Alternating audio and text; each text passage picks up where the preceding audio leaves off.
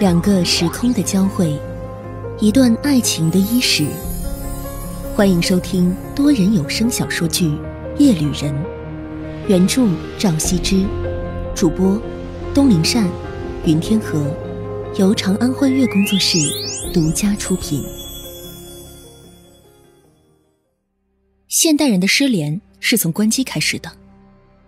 车祸现场的路障早已经清除，天亮雨停，甚至出了太阳。忙了整夜的薛选清站在街边焦躁不安，他已经拨了十几遍宗英的号码，起先还有嘟声，到后面全变成了对方已关机，前所未有。于是他放弃拨宗英的手机，往他宿舍打电话，没人接，最后又拨向六九九号公寓，手机里嘟嘟嘟的响，就在他要挂时，电话那边的嘟声戛然而止，替而代之的。是拎起电话的动静，他太阳穴突突的跳，张口即骂：“我去，你热昏头了是吧？你存心关机的是不是？”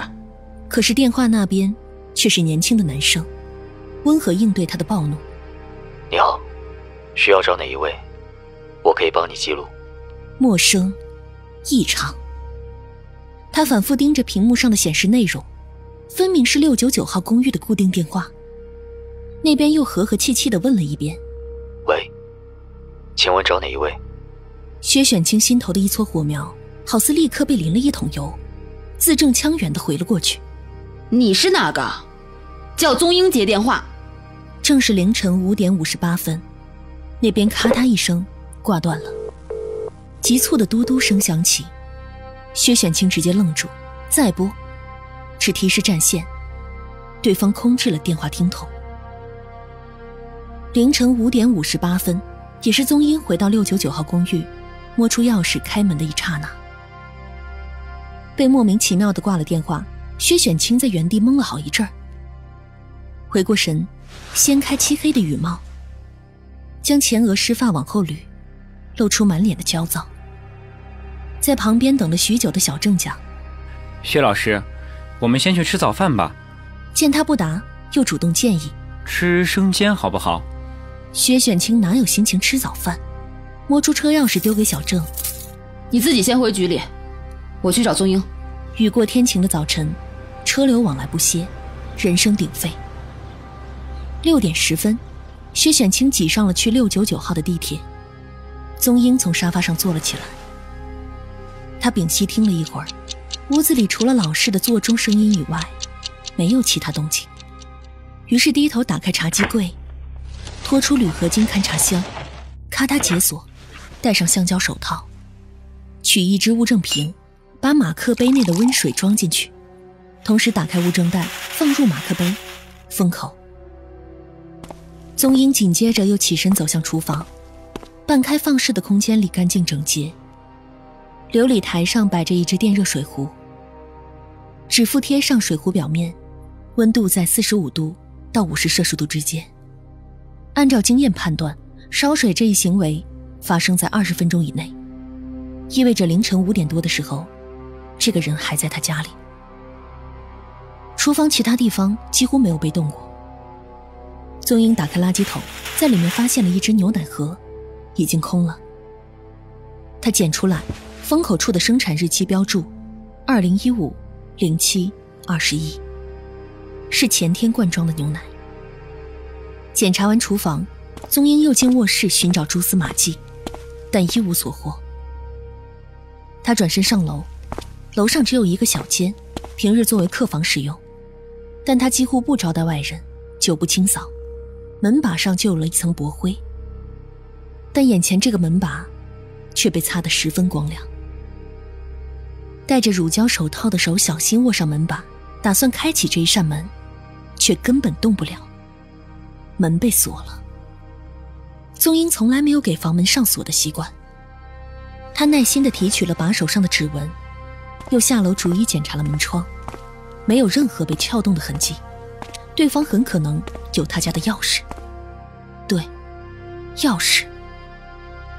宗英按亮玄关的廊灯，拉开五斗柜最上面一层，里面一串备用钥匙，果然不翼而飞，还丢了一些钱。他平常用来付外卖的零钱。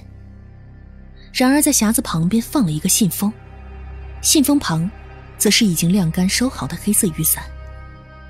他还没来得及拿出来，门就被拍得震天响。薛选清喘着气，大声道：“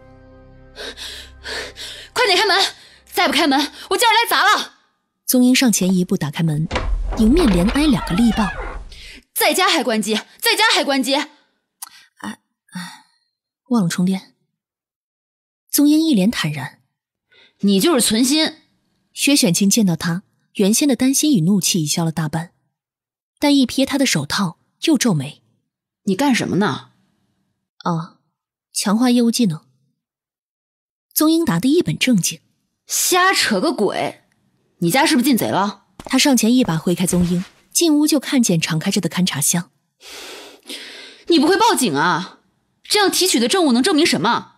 宗英答不上来，直觉告诉他这件事必定不是简单的入室行窃，但他目前并不想对任何人进行说明。宗英闭口不答，薛选清转过身来盯住他看。两个人差不多个子，都熬了一整夜，眼里布满血丝，半斤八两的状态。算了，对峙片刻，薛选清放弃。你根本不愿意告诉我，我不打听。他说着，摸出烟盒，取了两支烟，递一支给宗英。你几点到的家？将近六点。宗英接过烟，答道：“他记得很清楚。”他在沙发上躺下的时候，家里的座钟当当当的响了六下。那么我有必要告诉你，薛选清打开手机通话记录，视向宗英。五点五十七分，我打了这里的座机，是一个男人接的电话。他讲了什么？经疲劳过度的大脑努力的回忆一番，薛选清答道：“你好，需要找哪一位？我可以替你记录。”宗英连起眼睑。却说，语气奇怪，不太像贼，可能打穿线了。薛选清摇摇头，反正不对劲。不过你自己的事，你自己处理。他说完，终于摸出打火机，试图点烟，却始终打不着火。焦躁感在加剧，他转头直奔厨房，啪嗒一声拧开燃气灶，借了个火，深深吸了一口，才终于切入正题。薛选清挨着琉璃台讲：“你半夜推给我的那个现场，猜猜，肇事者是谁？”宗英脱掉乳胶手套，坐回沙发上，重新拿起那只并没有点燃的卷烟。你不如直接告诉我。邢学义。宗英缓慢地转动卷烟的手，稍稍停顿了一下。宗瑜舅舅是吧？薛选清吐出烟圈，又叹了一口气。宗瑜就同他在一个车里，重伤入院需要用血，他们家就喊你去。他完成自己的推断，唇边扬起一丝冷笑。需要时才想到你，原谅我看不出半点的真心与在意。宗英放下卷烟，交握起双手。不谈这个，那给你讲讲别的。薛选清往水池里弹烟灰，想听什么？现场情况。薛选清又吸一口烟，皱起眉回他。车辆失控，与隧道内另外三辆车发生连环擦撞，最终又撞上水泥墙，车头几乎撞毁，邢学义当场死亡。宗瑜人在车后，侥幸捡回一条命。就这些，另有两个成人死亡，两个轻伤。薛选清声音里不带任何情感，却在烟雾中眯起了眼。邢学义的死符合车祸死亡特征，不过有一点别的发现。他突然转过身，拉开厚实的窗帘，夏季晨光奔涌而入。宗英下意识的偏头一闭，no，自己看新闻。薛选清说着，调出头条，将手机扔过去。宗英低头浏览，一些关键字眼跳出来：连环车祸，新西药物研究院负责人邢某，新西制药高层公子宗某，车内疑似发现毒品，封锁消息，拒绝接受采访。一孕妇，一男子当场死亡。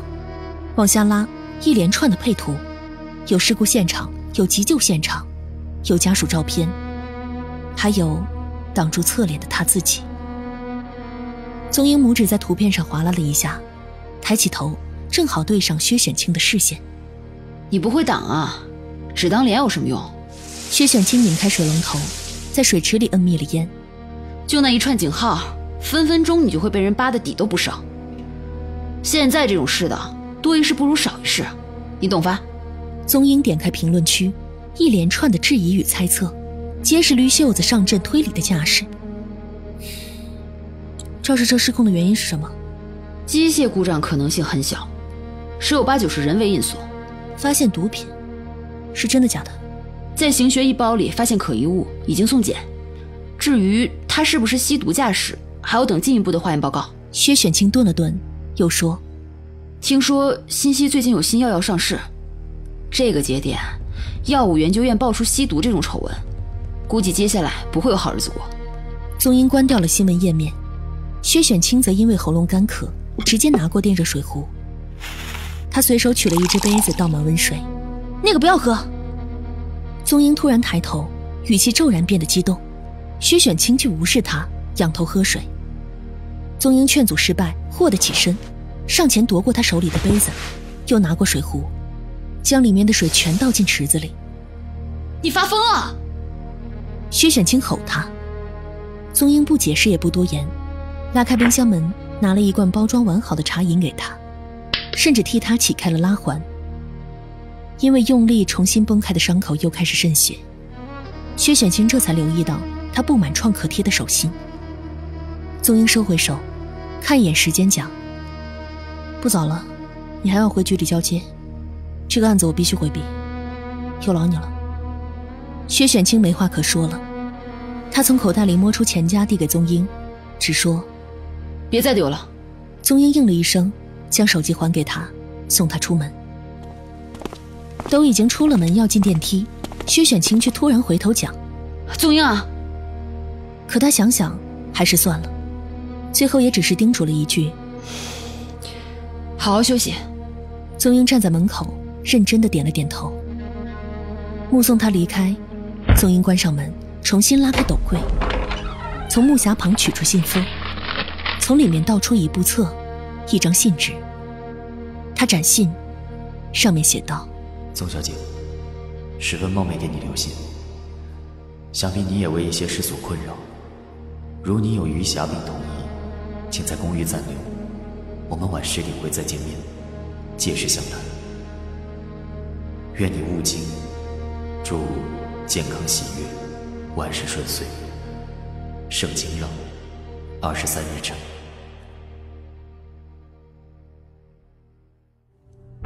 您刚才收听到的是由长安幻月工作室出品的多人有声小说剧《夜旅人》，原著赵羲之，授权自晋江文学城，由喜马拉雅独家播出。